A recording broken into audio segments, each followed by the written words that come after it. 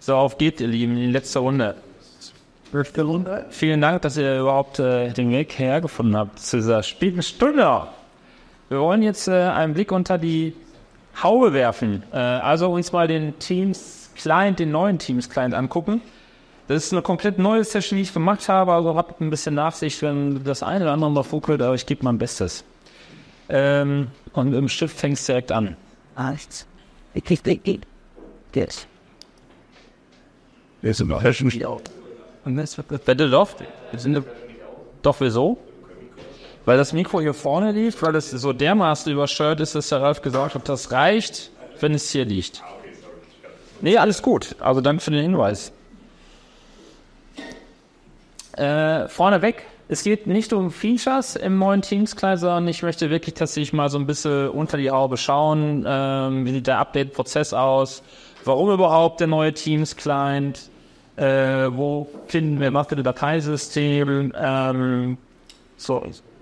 Und zum guten Abschluss auch noch einen kurzen Ausblick, weil ich da so ein paar spannende Erfahrungen hatte im Bereich Remote Desktop Server Systeme, äh, die vorne weggenommen aktuell und wahrscheinlich auch nie wieder supported werden mit dem neuen Teams Client. Nichtsdestotrotz gibt es vielleicht den einen oder anderen, der den neuen Teams Client auch in einer klassischen Remote Desktop Farm einsetzen möchte, was geht, äh, aber eben nicht supported ist. Auch da ein paar coole Geschichten. Ähm, ja, für all jene, die mich noch nicht kennen, ich bin der Thorsten Pickern, arbeite bei der Firma Glukania im schönen Offenbach. Äh, bin dort als Cloud-Architekt unterwegs. Primär im Bereich, äh, oh Wunder, oh Wunder, Microsoft Teams. Ähm, eigentlich immer im Bereich der Migration von Telefonie Richtung Microsoft Teams. Aber ja, Teams bringt es halt mit sich, dass man sich nicht nur noch auf Telefonie fokussieren darf, sondern ganz viele andere Themen machen darf. Insofern freut mich heute hier zu sein. Für den Bereich Community gibt es jede Menge Projekte. Äh, mit dem lieben Michael zum Beispiel den Talk M365, wo wir alle zwei Wochen unterwegs sind, ähm, live auf Sendung sind, um uns verschiedene Geschichten aus dem Microsoft 365 Kosmos um die Ohren zu werfen. Äh, was ist gut, was ist vielleicht weniger gut, was macht Sinn, was macht weniger Sinn. Immer eine sehr lustige äh, Stunde, die wir da haben, also häufig zumindestens. Lade ich euch gerne ein, dabei zu sein. An, dann gibt es noch die Microsoft Teams User Group in Bochum alle zwei Monate, wo wir uns die Teams austauschen und noch das private Projekt des Office 365 Quick Tips, ähm, wo es sich eher an Endanwender richtet. Versuche ich immer kurz zu halten, mittlerweile bin ich aber dann doch bei knapp 15 Minuten immer. Ich werde sie dafür zu reduzieren. Endanwender-Videos im Bereich der Beisetzung. Was habe ich für euch mitgebracht? Eins, zwei, drei, vier, fünf Gesundheit, Punkte.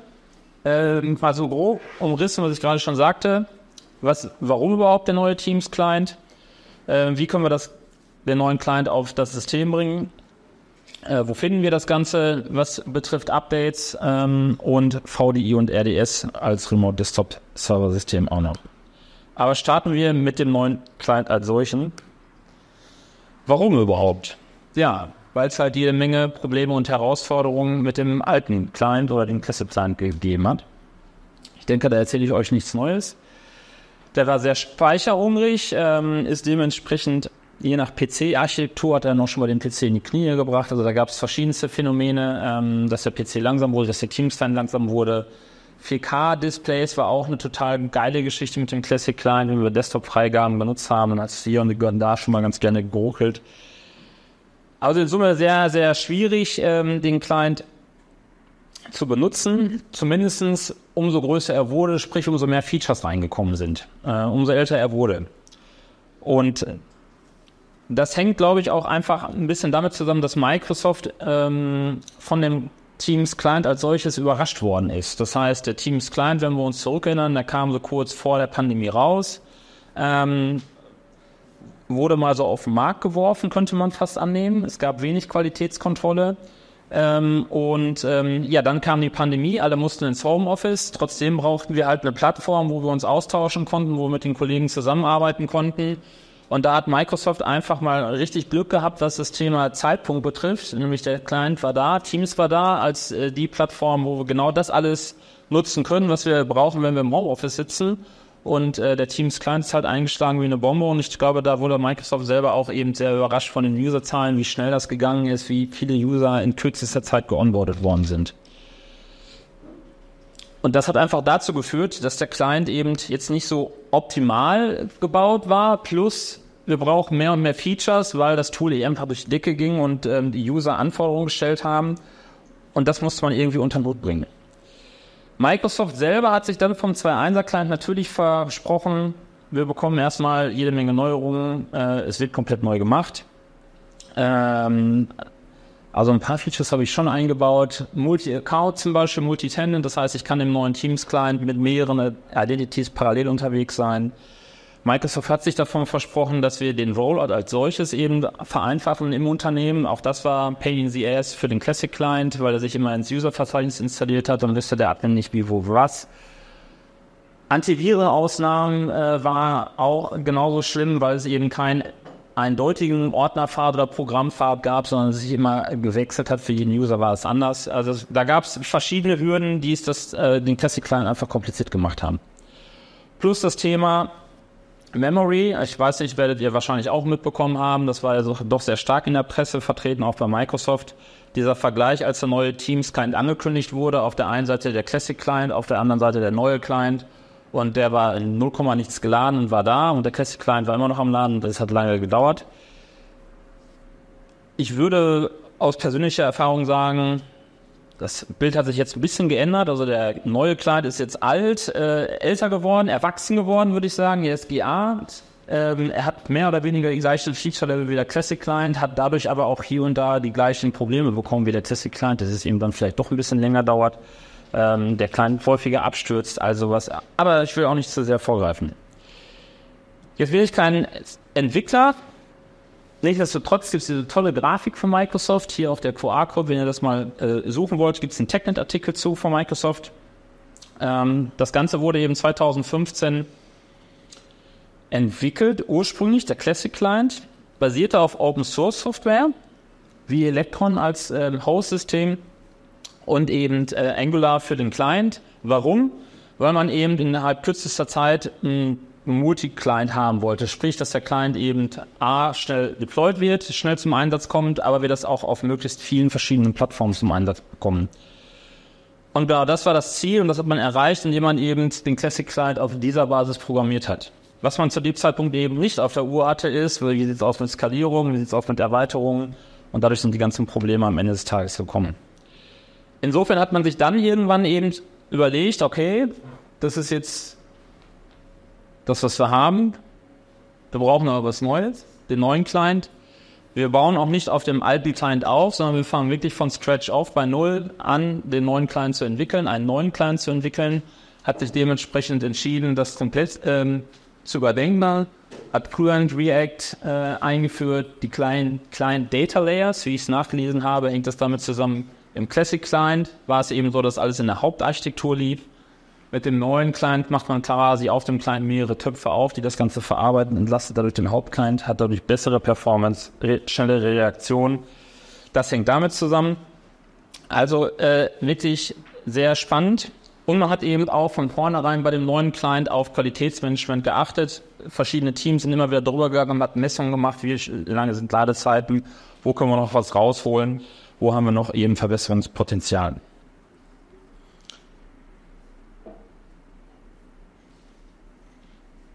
Das ist mal die Architektur, da bin ich dann komplett raus. Aber man sieht, da tut sich jede Menge Details hier. Wir sollten mal eine Session zusammen machen. Weil, hier. Immer. So, also, der neue Client. An, ja, natürlich. Okay, wir schreiben mal darauf füttert runter, dass du uns das jetzt alles erklärt hast. Ja. ja, bitte. Ja. Dann werde ich demnächst zur Entwicklerkonferenz eingeladen und nehme den Reis immer mit. Und ich setze mich daneben und Ralf macht einfach das. Wir also sagen, guck, beide.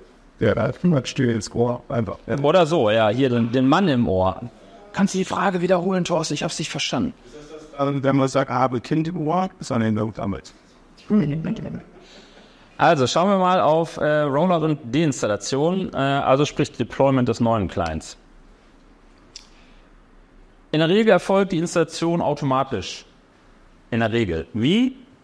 über die M365 App Suite. Das heißt, wenn ihr M365 App Suite installiert habt, sollte normalerweise der neue Client bei euch auch automatisch auf dem System installiert sein. Vorausgesetzt, ihr habt die Classic Client installiert. Bitte. Ähm, Windows 11. Ma. 21 H2. Ja. Da ist äh, der da ist der neue Anzugsklein schon drin, richtig? Also ich, ich, drehe es einfach mal um. Ja. Aber ich bin am Unitelekom eingestellt. Bei uns ist die Anforderung alles, was an Kommunikationsmedien äh, in Windows 11 drin ist. Neuer Teams Client, neuer Outlook, von eine ganz andere Verlauf. Er muss raus, bevor wir die Rechner ausliefern können. Ja. Wie kann ich das realisieren? Also ich muss Workaround, den wir jetzt haben, ist den unter Windows 11 23 als Requeser.t das System-Wide Teams Install einfach rauszumachen, bevor sich der erste User anmeldet. Keine Antwort zu. Nimmt der mit oder Das ist ja auch so. Das ist so, weil das ist tatsächlich bisher der einzige Phänomen, der um das Ding auszukriegen. Und wenn das installiert kriegen wir diesen Team, den, den neuen Personal genannt. Ja. Der ist aber mit unseren AD-Konten, die wir Azure AD synchronisieren, weiß, wir da mal äh, hinkriegen. Das heißt, wir müssen dann dieses MSX-Paket nochmal zusätzlich diejenigen äh, ausweichen, die dann den Teams äh, Enterprise Fans Rest der Rest. Dann da den Das vorgefallen in so mal, ja. Das ist für, für mich halt im OST und und Painting CS. Ja. Da ist einfach unglaublich viel Arbeit. Das ist fünf Stunden lang investiert, das auszukriegen. Wie, ich den auch wieder eine Karte keine, aber darauf sehr am Weg, den Microsoft vorschlägt, oder angibt, wie man das Ding dort rausfallen rauszukriegen. Nee, ich glaube, äh, ich überlege gerade, ähm, der, die, die Learn-Seite von Microsoft wurde in den letzten Tagen tatsächlich ähm, erweitert um viele interessante Geschichten und ich habe jetzt gehofft, ich hätte eine Antwort für dich, weil du sagst, wir haben Probleme bei der Installation. Die sagen, aber ist das nicht die Installation und äh, ich überlege gerade, es gibt einen Artikel zur Deinstallation, aber der bezieht sich auf den Classic Client, nicht auf den neuen Client. Der Classic Client ist zum Glück auch in so einem Ja, ja, genau. Also deswegen, ich habe das bisher vielleicht eine Antwort, aber äh, nee, kann ich auch streichen. Links, die die Learn-Seite aktualisiert worden ist, dann kriegst Kannst du mal drauf, drauf gucken, ja. Also in den letzten Tagen auf jeden Fall was getan. Uh, das ist mir wow, proper. System wide steht, der hat installiert, kaputt und sagen, dass das in wie nennt denn der nächste Reward aus. Oder ob es nicht mit dem nächsten Update wieder reinkommt. Nein, nein, natürlich nicht. Ähm, How do this? so ja, Okay, guter Denken. Äh, ansonsten gibt es eben die Möglichkeit, dass ihr, oder nochmal zu den M365 äh, App Suite, wenn ihr es eben darüber installiert habt oder vielleicht noch nicht. Seit Dezember 2023 ist es für alle Ringe. Das heißt, Microsoft hat so ursprünglich mal angefangen, das in Ringen zu verteilen. Je nachdem, in welchem Ring ihr gewesen seid, wurde der neue Client mit installiert. Äh, ist eben passé am Ende des Tages natürlich auch, weil wir jetzt seit 1. Juli eben die Nutzerpflicht haben des neuen Clients, da der Classic Client eben außerhalb des Supports ist. Komme ich gleich aber auch noch drauf. Dann gibt es natürlich die Möglichkeit, den neuen Client manuell zu installieren oder äh, das Deployment via Softwareverteilung zu machen, also Intune, SCCM, Matrix 42, was ihr ihr möchtet. Info Das äh, Firmen für den neuen Client. Das ist immer noch eine Excel. Ja, das ist Teams Bootstrapper Excel, äh, wird auch ab und zu äh, aktualisiert von Microsoft. Insofern ist es immer ratsam, die aktuellste Version zu haben. Und ähm, komme ich gleich auch noch drauf, äh, minus P installiert die Anwendung, minus P minus O plus die dazu heruntergeladene MSIX ist ein Offline-Score, wir benutzen Mensch. Woher bekomme ich die MSI jetzt? Auch von der Microsoft-Website ist ein, ähm, also Offiziell. wir greifen ein bisschen vor, aber ich habe für, für, für, für eine RDS-Umgebung ein Skript geschrieben, was quasi den Bootstrapper runterlädt. Ähm, und da habe ich die Möglichkeit, das äh, online zu installieren. Das heißt, der Bootstrapper lädt die Installationsdateien mit runter. Ähm, und der Bootstrapper selber ist hinter einer AKNS-Datei. Das heißt, es ist immer der gleiche Link, äh, den ihr benutzen könnt, um die aktuelle Teams Bootstrapper zu bekommen. Wenn ihr die Möglichkeit habt, ist das, glaube ich, das Einfachste. Das ist so, am Nachbarrequire Betriebssystem dazu tatsächlich, der so, wie kann ich als derjenige, das Rollout baut quasi, äh, die Dateiunterscheidung zwischen Personal und Enterprise Tenant. Keine Antwort. Äh, was ich dir dazu sagen kann, ist, dass ich Ich, ich muss jetzt fragen, weil ja, ja, aber das, das bei uns, wir haben momentan Eckhardt äh, irgendwann mal von der Website diesen äh, Enterprise App runtergeladen Ja. und verteilen den tatsächlich manuell an diejenigen, die Teams nutzen sollen. Wir haben das noch nicht automatisieren können, weil äh, Gut, dass der Heiko hier so Dinge ausgelegt hat. es. Ja, mega. Also ich, äh, Ich, Ja. Also das war einmal ähm, Unterschied Personal. Personal und Enterprise sein. Das ist das, was ich gekriegt habe, Messages am Telefon. Und äh, uninstall, ne? Ja, Ich guck mal nach. Ich nehme es einfach mit und verspreche nichts und guck mal nach. Bitte? außer noch eine E-Mail. Können wir nachher austauschen oder ich komme schon Heiko. Ja.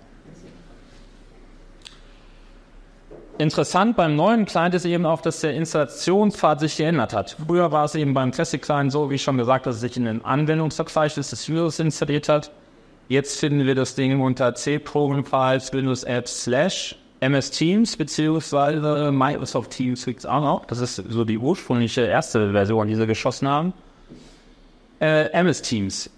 Punkt, äh, Unterstrich Sternchen. Warum Sternchen? Weil eben ihr in dem Programm fahrt, bei einem Update immer wieder neue Versionen bekommt. Das heißt, das Ding ändert sich immer wieder. Ähm, wenn ihr ein Update installiert, so zumindest meine Erfahrung, habt ihr in der Regel immer zwei Programmverzeichnisse. Einmal die vor, vorherige abgelaufene Version und einmal die aktuelle Running-Version, die eben dann bei euch auch im Einsatz ist. User haben Zugriff direkt auf den MS Teams Ordner, auf den darüber gelegenen Ordner nicht mehr. Das heißt, wenn ihr als normaler User drauf versucht, über den Windows Explorer drauf zuzugreifen, vergesst es, äh, Windows PowerShell als Admin starten, hilft, dann kommt er auch an die entsprechenden Pfade dran. Hier auch nochmal in groß, hier sieht man's, Windows Apps und hier der Teil, der ändert sich fortlaufend. Der hintere Teil bleibt gleich, hier vorne bleibt auch gleich, aber der Teil ändert sich immer wieder, abhängig von der Versionsnummer, die ihr eben im Einsatz habt.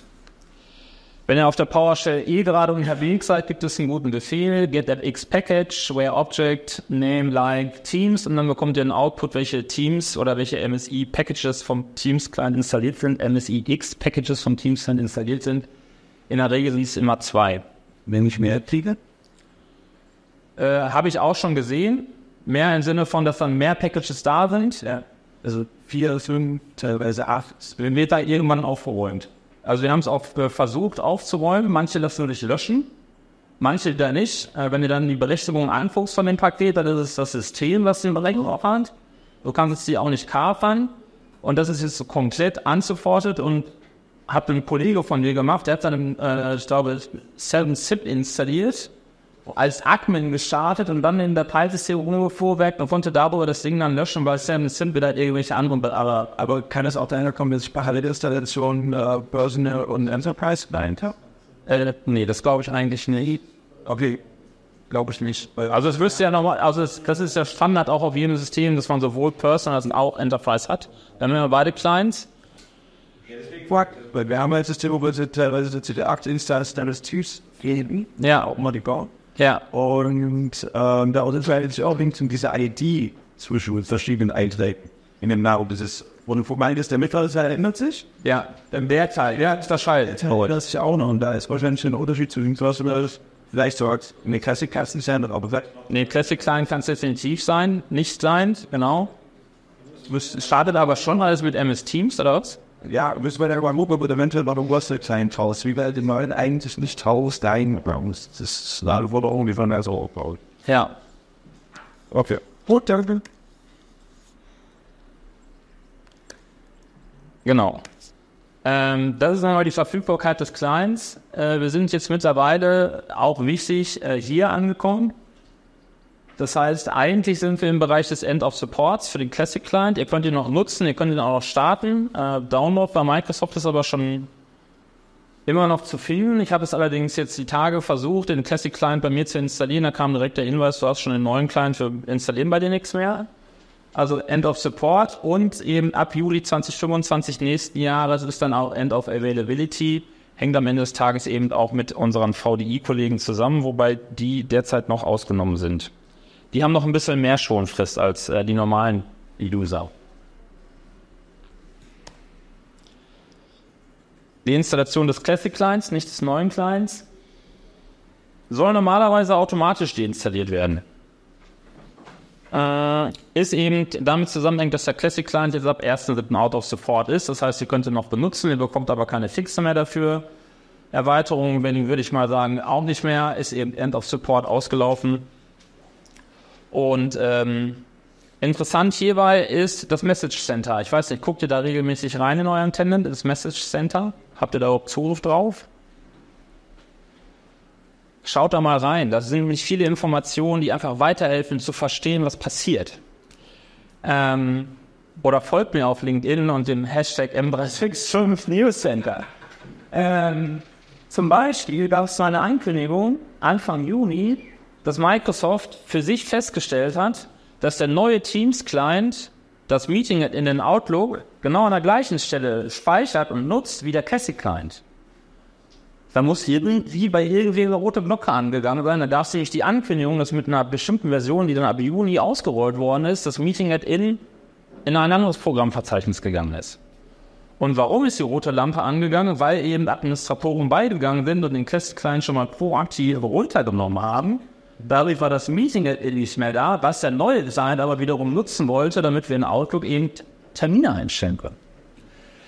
So, das heißt, hier hat Microsoft eben gesagt, okay, wir installieren das jetzt an anderer Stelle, damit sich diese beiden Meeting-Add-ins nicht in Konflikt stehen, dann könnt ihr den Classic-Client schön runterhauen und das Meeting ist an einer anderen Stelle und bleibt dadurch weiterhin für euch in Benutzung. Ein paar Wochen später kam dann der Hinweis, wir haben die Deinstallation, die automatische Deinstallation auf Windows-Betriebssystemen erstmal gestoppt, weil es gibt ein paar Kunden, die nach wie vor melden, dass es eben Probleme gibt aufgrund des Meeting-Add-ins, was immer noch an der gleichen Stelle steht. Da können wir natürlich jetzt rätseln, was passiert ist, ob eben der Teams neue Client nicht so weit aktualisiert wurde, dass das Meeting-Add-in an neuer Stelle installiert wurde, somit immer noch an alter Stelle gewesen ist. Und dadurch, dass wir jetzt nicht mehr den Weg haben, dass Admins proaktiv den Classic Client deinstallieren, sondern Microsoft dafür sorgt, dass es automatisch deinstalliert wird, natürlich bei Unternehmen dazu kam, dass auf einmal das Meeting nicht mehr da gewesen ist. Auch hier, da habe ich jetzt keinen QR-Code zu, gibt es in dem Learn-Artikel ähm, ein äh, Troubleshooting-Guide, äh, der sehr gut mit euch durchgeht, wenn das Meeting nicht Probleme macht oder nicht mehr da sein sollte, wie es reparieren kann. Ja, gerade ist auch die Geschichte, dass der Hasher von der Identity geantwortet wurde gab es irgendwie auch mal einen Bug dazu. Es ging gerade sehr ähnlich. Ja, das hatten wir damals nicht gefunden. Hatten aber gesehen, dass es zwei unterschiedliche Meeting and Info gibt. Ja. Ich hatte so weit zurückgeschaut, ist, dass beim Installieren Updates irgend von Prozedur des neuen Clients in Kombination der alten Sache irgend auch ein Hasher von den DLL zum Laden auch irgendwie richtig eintragen wurde, der Race Speed, hat er eine Show und deswegen das Ding bemerkt. Gut möglich. Also habe ich nicht gehört von Kunden, aber kann durchaus dann zusammenhängen, ja. Will ich nicht ausschließen.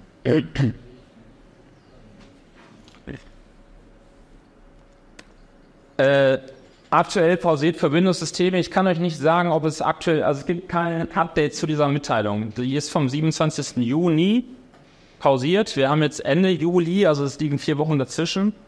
Äh, es gibt kein Update mehr dazu, ob das nach wie vor pausiert ist oder ob es eben dann jetzt die automatische Deinstallation wieder angestartet wurde von Microsoft, ähm, kann ich euch nicht sagen. Ich kann euch nur sagen, dass bei mir auf meinem System zu Hause, auf allen Systemen zu Hause, die ich habe, der Classic Client eben deinstalliert ist. Ich kann euch aber nicht sagen, wann er deinstalliert wurde.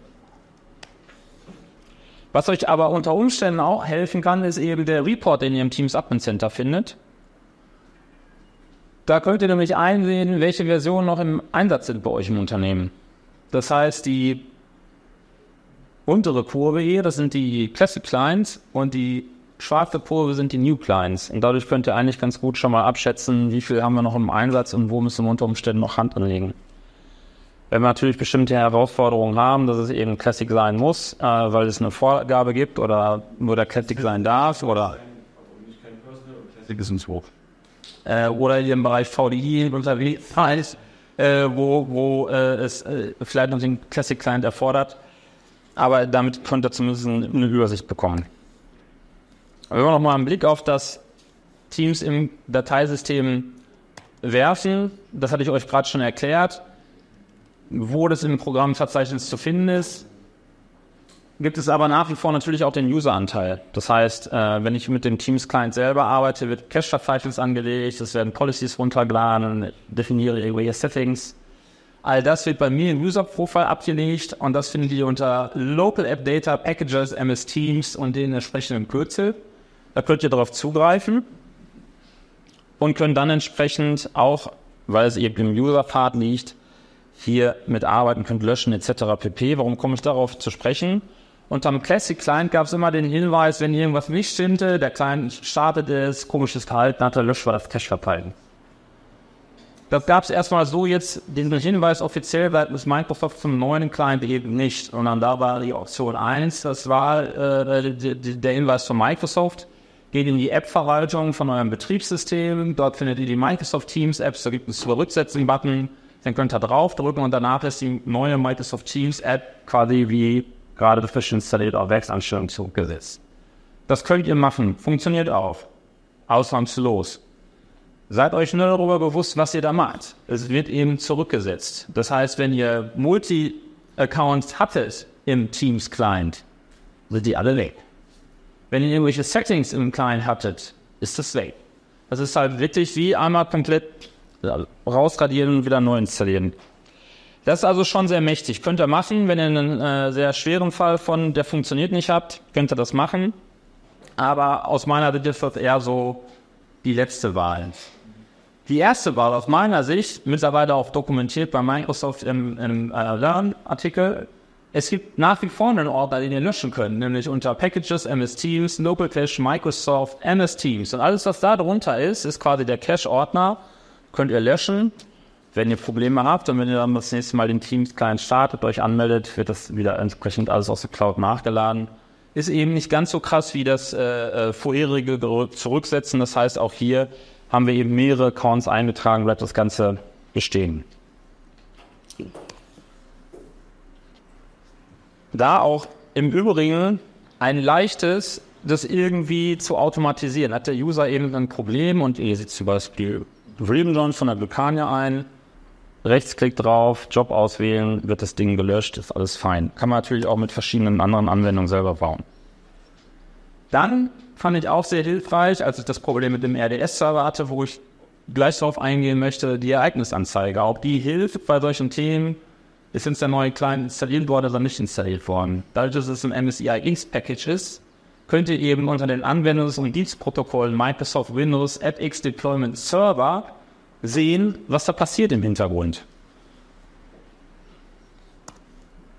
Dann kann es nämlich sein, dass der Client sagt, ich habe hier ein Update für den Microsoft Teams Client, den neuen Client, und das muss ich jetzt mal verarbeiten. Und dann findet ihr unter Umständen auch einen Hinweis, dass das schiefgelaufen. Konnte ich nicht, konnte das Update nicht durchführen. Und ich habe mich totgesucht. Also Verhalten war, dass oben eben in der RDS-Umgebung, wie gesagt, nicht supported, der Aktualisierungsbutton eingeblendet wurde, der User hat draufgeklickt, der Teamstand hat sich beendet, so wie er es machen soll, und dann ist nichts mehr passiert. Oder aktualisieren wurde eingeblendet, dann ist der User weggegangen, hat sich einen Kaffee geholt, kam wieder, war der Teams-Client weg. Plus die Kombination, dass er auf Aktualisieren geklickt hat, der Teamstand hat sich beendet, er hat dann den Teamstand wieder gestartet und nach drei Minuten war wieder der Aktualisieren-Button da. Also offensichtlich ist irgendwas mit dem Abwägen nicht passiert. Und das Ding haben wir dann am Ende des Tages den richtigen Hinweis gegeben. Natürlich in der RDS-Umgebung habe ich den MS Teams eben mehrfach gestartet in 10, 15 Sitzungen und diese Prozess eben beendet, weil damit Update durchgeführt werden kann. Das heißt, wenn der eine User eben Teams beendet und den Update-Prozess macht, aber ich noch 14 andere User drauf habe, die den Teams-Client nutzen, kann er das Update eben nicht ausfüllen, weil er ja unter C-Program-Files, bla bla, Windows Apps, Packages auch immer noch äh, von dort angeht. Ja, wenn du halt aus der alten Welt kommst, denkst du erstmal, was ist denn hier los? Also das war Gold wert. Bringt mich zum nächsten Abschnitt, Teams Updates. Also ihr kennt den Button Updates. Wird halt eingeblendet. Der Client fragt regelmäßig in der Teams-Plattform nach, was gibt es denn? Hast du ein Update für mich, hast du für mich kein Update? Wenn es ein Update gibt, kommt der Button, die Datei wird im Hintergrund runtergeladen, der Client wird beendet, die Datei wird ausgetauscht und mit der neuen Datei wird das Ganze gestartet, dann ist eben am Ende hoffentlich der Update-Prozess abgeschlossen.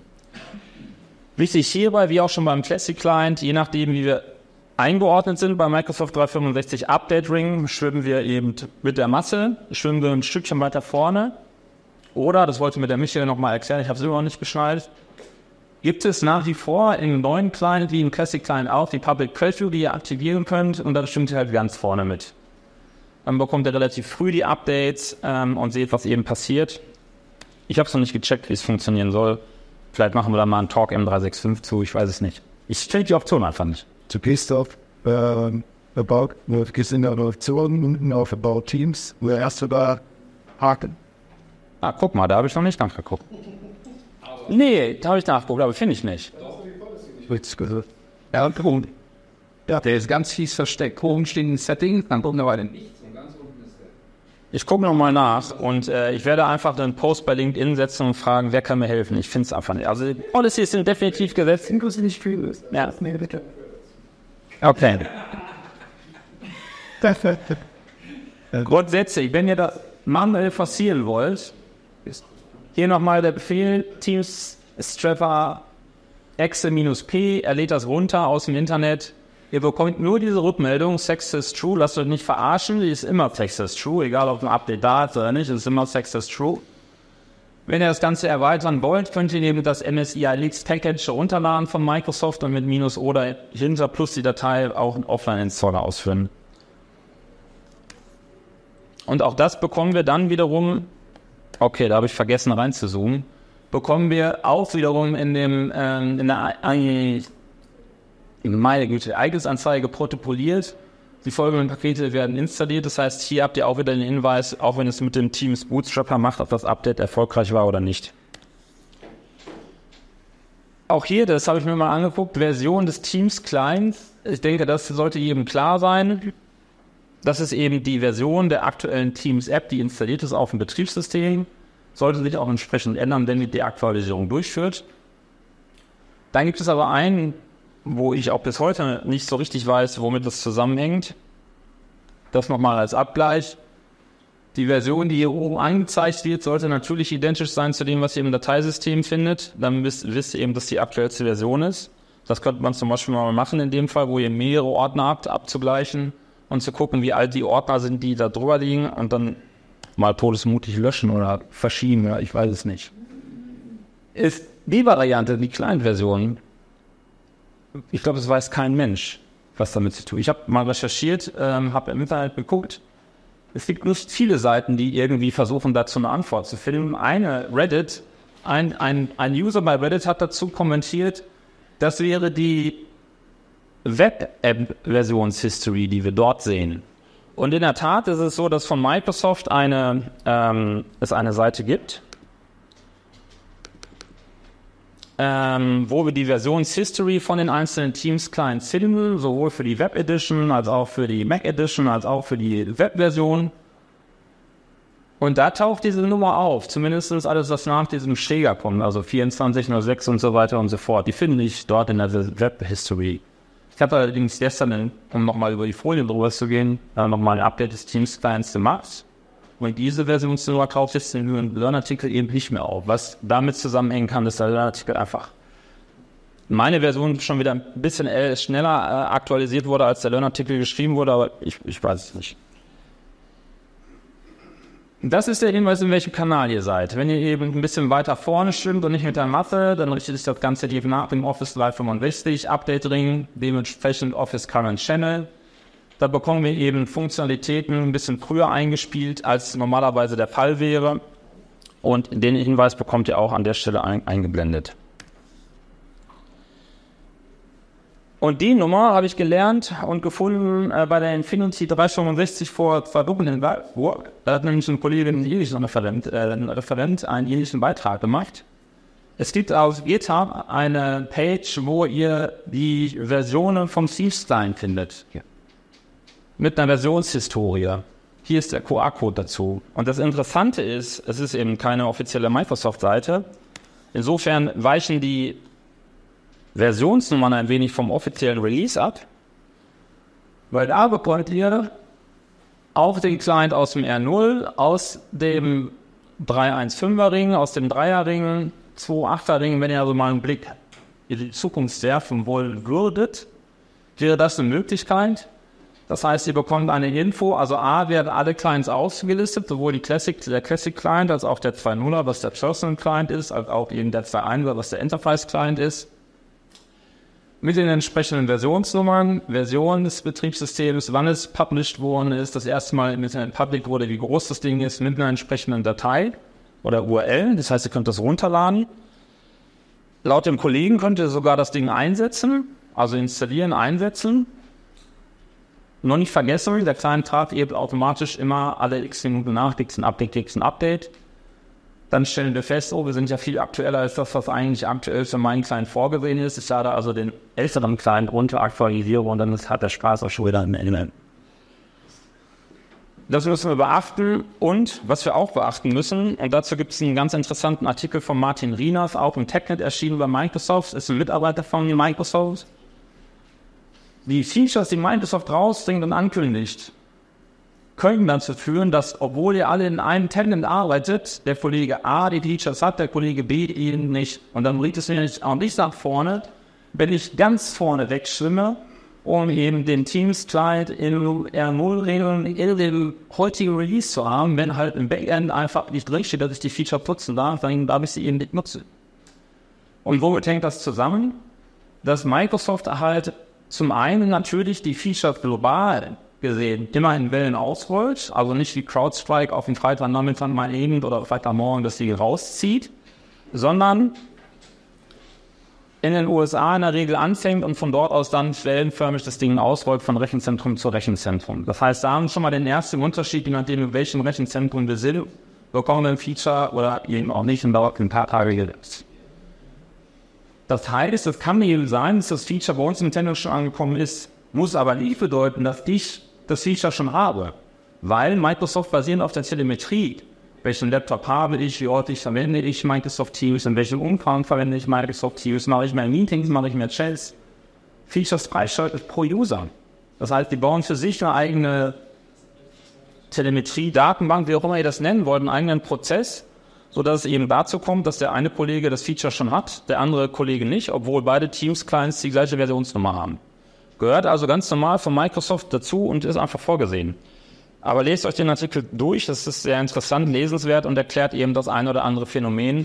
Gerade was wir gesehen haben, als der Teams ASCII Client rausgekommen ist und es häufig darum ging, möglichst alle die gleichen Features haben und natürlich die geilen Features haben wollten. Das aber nicht funktioniert, obwohl wir alle die gleiche Versionsnummer hatten. Und kommen wir zum Abschluss Teams, RDS und VDI-Umgebung. Hier gibt es eine andere Timeline. Wenn wir bei Microsoft reingucken, hängt damit zusammen, dass Microsoft den Support für den Classic Client in den VDI-Umgebung einfach verlängert hat. Auch hier ist es so, dass die User proaktiv darauf hingewiesen werden, so du musst jetzt den neuen Client verwenden, dann bleibt der Classic Client ein bisschen länger am Leben.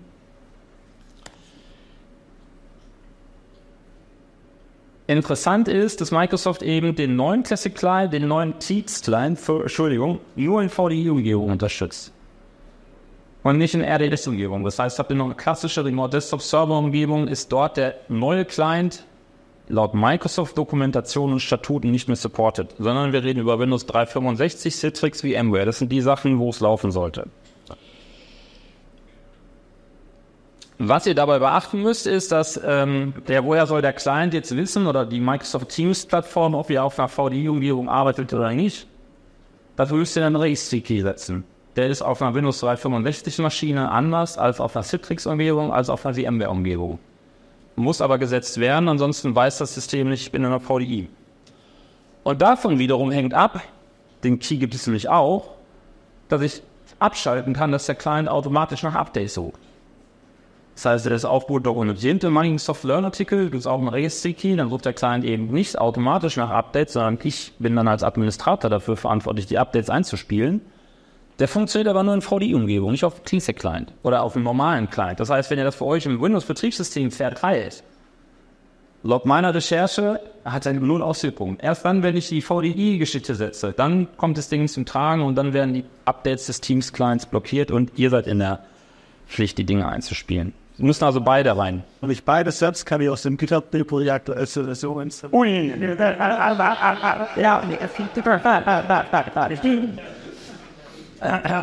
Ja, dazu sage ich jetzt nichts. Das könnte vielleicht mal äh, ein Szenario sein, was ausprobieren.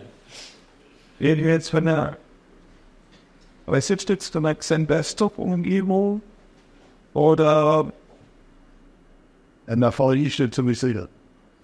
Äh, Okay. Genau. Und auch das ist, ich weiß nicht, ob es neu ist, aber es ist im, im, im MVP, wir haben einen Technical Tuesday, wo wir aus Redmond Updates bekommen und diese Woche die gab es den Technical Tuesday zum Thema VDI. Und da habe ich mich gefragt, mh, eigentlich geil für heute, darfst du darüber reden? Und ich war sehr erleichtert, als äh, der, die Session damit begann, wir haben einen Technical-Artikel geschrieben, also da darf ich drüber reden. Es gibt ein Update für VDI-Umgebung, der relativ neu ist. Public Preview, der Artikel selber ist vom 10.07., könnt ihr reingucken. Und was hier interessant ist, ist, dass Microsoft das nachbaut, was es unter Lync und Skype for Business schon gegeben hat. Das heißt, sie bauen neue Komponenten in den Teams-Client auf die VDI-Schiene und die bauen eine neue Funktionalität, der nennt sich Slim Core-Komponente, ähm, äh, die in den SIM-Client, in dem SIM-Client benötigt er die RDP-Verbindung oder die, die VDI-Umgebung, äh, VDI-Verbindung aufbaut. Und der sorgt nämlich dafür, dass unser Datenstrom für Audio und Video nicht erst in die VDI-Session reingeht, um sie dann von dort ins Microsoft Teams Rechenzentrum zu schicken, damit die Antworten von Teams Richtung VDI und wieder so ins Client geht, sondern endlich, wieder so wie es früher gewesen ist, die Slim Core Komponente den Audio- und Videodatenstrom direkt in die VDI-Maschine schickt, an Teams, äh, Quatsch, direkt an Teams schickt, so, da macht nämlich Sinn, nicht erst über die VDI-Umgebung schmeißt und wir dadurch weniger Bandbreite brau- brauchen werden. Und natürlich die Maschinen auch entlasten, die eben die Umgebung bereitstellen. Auch hierzu ist ein Learn-Artikel, gerne den QR-Code, wenn es interessiert. Microsoft hat dazu auch ein Netzwerkarchitekturdiagramm geliefert. Hier sieht man es ganz gut. Hier unten habt ihr die SimCore-Komponente, da oben diese VDI-Bridge. Natürlich geht nach wie vor die Signalisierung eben über unser Microsoft 365-Netzwerk, geht auch gar nicht anders. Im Bereich, ähm, ist die Audiodaten, die austauschen, nutzen wir aber eben zwischen der Slipcore-Komponente und dem VDI-Bridge in den direkten Weg und sparen uns eben die Kommunikation über die Microsoft Teams-Plattform, äh, über die VDI-Umgebung, meine Güte. Also, wie gesagt, das Thema selber gab es unter Lync und Skype for Business auch. Ähm, ich habe mich gefragt, aber das hat man sich bei vielen Funktionalitäten gefragt, warum haben sie es nicht direkt mit eingebaut. Es hat Zeit gedauert. Ähm, jetzt nach fünf Jahren ist er da. Ja, bitte. Genau. Habe ich schon mal gesehen, habe ich tatsächlich nicht ganz kapiert. Ähm, ist das eine separate Komponente auf der Hardware, wo übrigens dann auf Genau. Das ist die Slim Core Komponente. MS Teams Plugin DLL. Die wird mit installiert, wird eben in der Regel durch die Hersteller selber geliefert. Aktuell in der Public Preview wird unterstützt Citrix und Windows 365. Das heißt, ich glaube, mit dem aktuellen Remote Desktop Client bei den Anlage, das gab es schon wenn ihr den aktuelles RDP Card installiert habt. Bei ähm, ähm, den Kollegen von, von Citrix, also je nachdem, wenn ihr SIM-Clients habt, seid ihr natürlich darauf angewiesen, dass die entsprechenden Hersteller euch die Module liefern, wenn sie denn irgendwelche gebenchten Systeme sind. SIM-Clients von Citrix oder sonst irgendwie. Ansonsten genau die Komponenten sorgen dafür. Das heißt, ihr habt eben eine Softwarekomponente auf dem System, von wo aus die RDP-Verbindung hergestellt wird, und ihr habt eine Softwarekomponente äh, in der ähm, VDI-Umgebungen. Und wenn das System erkennt, äh, dass die, sowohl die Komponente im VDI aktuell ist, als auch der Citrix Client, also unterstützt wird eigentlich der Medienstrom direkt zu Microsoft Teams. VMware Horizon ist da aus. Aktuell, also ich vermute mal, dadurch, dass VMware Horizon ja ein zertifizierter VDI-Anbieter ist, äh, wird das nachgerüstet oder wird das nachfolgen. Ähm, in dem Artikel selber zu Public Preview habe ich derzeit eben nur Citrix und Microsoft äh, Nussgraf University zu sehen. Und äh, interessant in dem Artikel ist zum Beispiel auch zu lesen, dass es aktuell, es ist Public Preview, also insofern darauf bitte schauen und mit den Usern auch sprechen, wenn die Sitzung verloren geht, wegen gar den Kaffeeholings äh, und die Session ist idle, wird getränkt, müsst ihr, wenn der User wieder zurückkommt, wird dieser direkte Weg nicht wieder aufgebaut. Das heißt, ihr müsst dann einmal den Teams-Client beenden, den Teams-Client wieder starten, damit er dann wieder sich vernünftig verhandeln kann und die Daten direkt über, überträgt. Ist aber eben aktuell noch in der Public Preview ist ein bekanntes Problem. Ich denke, es wird dann auch gefixt werden. The Cleveland Onward. Gibt es eben besti bestimmte Voraussetzungen? Der Teams Client muss eine bestimmte Versionsnummer haben, der LET Client muss eine bestimmte Versionsnummer haben. Ähm, äh, und es muss irgendwas entsprechend über gute installiert sein auf der lokalen Maschine. Und Public Preview, hier ist es wirklich Public Preview, äh, bedeutet äh, genau das, was der Michael mir dann vielleicht mal erklären wird, ist für eure User notwendig. Äh, eure User, die, wenn ihr das Auto testen wollt, müssen eben in den Public Preview Mode äh, laufen, damit sie diese Funktion nutzen können. Also eigentlich relativ simpel. Man muss sich nicht bei Microsoft dafür registrieren, anmelden, sonstige Geschichten. Man muss die User in den Public Mode schieben, den aktuellen Client installieren, ist alles gut. Und hier noch mal eine Idee, aber komplett unsupported. Ähm, auch wenn ich MVP wenden ist, ist unsupported eigenes Risiko. Äh, es hat funktioniert bei den Kunden. Das was? Gut. Ähm, ja, manche sagen ja, die, äh, sorry. Ich habe ein Skript geschrieben, was genau das macht. Also das Skript geht ein, einfach am Ende des Tages bei, für die Teams, legt die Teams Bootstrap halt extra unter, ähm, vergleicht, was ist der aktuelle Verbreitungsstand auf dem System, führt die Teams Bootstrapper aus, äh, also Ergebnis lese sich wieder das Verzeichnis raus, um zu gucken, ob eine aktuellere Version da ist. Das Ganze mache ich um 4 Uhr, wenn sowieso kein Mensch angemeldet ist, dann funktioniert es auch. Und wenn sich am nächsten Morgen ein User anmeldet oder es ein Update gegeben hat, Client sogar auf dem aktuellen und habt das Problem nicht mehr. Das heißt, in Kombination aus, obwohl es eine klassische RDS-Umgebung ist, kein VDI, Setzen des VDI-Keys plus Auto-Update abschalten plus ein Skript, was nachts um 4 rennt, hat das Problem gelöst, sodass eben, wenn keiner am System angemeldet ist, der Teams-Client sich beendet, äh, äh, aktualisiert wird und dann entsprechend auch auf dem letzten Release läuft. Und damit bin ich dann auch schon durch. Äh, gibt viele weitere Geschichten, aber am Ende des Tages hat die Zeit nicht mehr gereicht, um das alles in die Folien zu pressen. Davon könnte drei Millionen Jahre schicken und während man an so einem Slide Deck arbeitet, kommen auch permanent neue Ideen, was man noch alles da reinbauen könnte, über Policies, wie wir das kontrollieren können und so weiter und so fort. Als Fazitblatt stehen, dass der neue Client äh, sich auf jeden Fall sehr krass verändert hat zu dem, was wir vorher hatten. Also angefangen bei Deployment und Funktionalität, aber auch wie er sich verhält. Ähm, das heißt, was ich euch mitgeben möchte, prüft auf jeden Fall sorgfältig eure Umgebung, was die Verteilung des neuen Clients betrifft, aufgrund dessen, dass der Classic Client eben out of support ist und somit auch durch Microsoft nicht mehr maintained wird. Also höchste Eisenbahn entsprechend auf den neuen Client zu äh, switchen, auch wenn wir ihn vielleicht nicht mögen, ich weiß es nicht. Ähm, dann beachtet die Ausnahmen in euren AV-Regeln. Wenn ihr, aber es war von auch schon unter den Teams sein, eine Anforderung, äh, es tut mir leid, äh, war es eine Anforderung von Microsoft oder eine Empfehlung, dass ihr für eure entsprechenden Antivirenprogramme schaut, dass die in Ausnahmen gebaut werden, damit der Teams-Client arbeiten kann, wie er arbeiten soll. Wir reden am Ende des Tages immer noch über Echtzeitkommunikation und jedes Paket oder jedes Tool, was reingeht, um dort reinzuschnüffeln, kann uns eben wertvolle Sekunden, Millisekunden kosten. Insofern gab es von Microsoft diese Empfehlung, Ausnahmen zu definieren.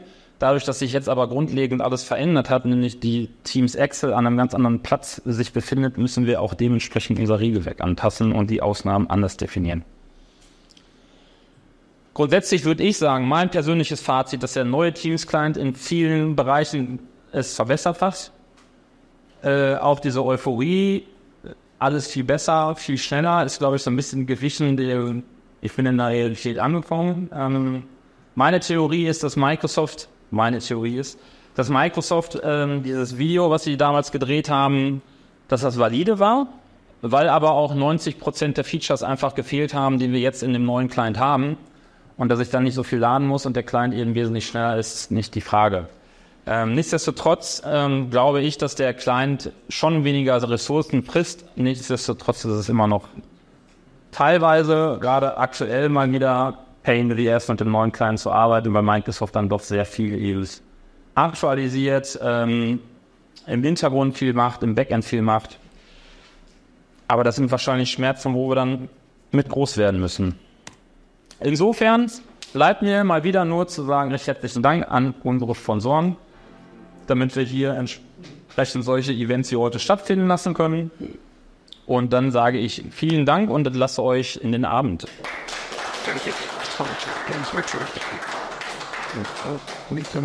Links.